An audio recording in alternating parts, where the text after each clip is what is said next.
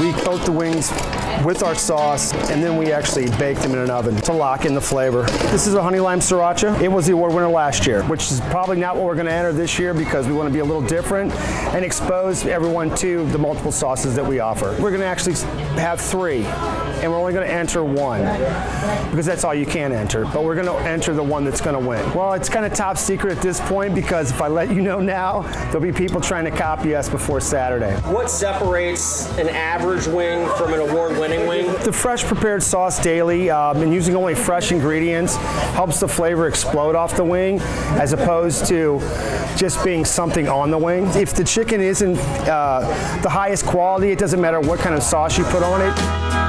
I think it has to do with its finger food, its comfort food, and people like to explore flavors.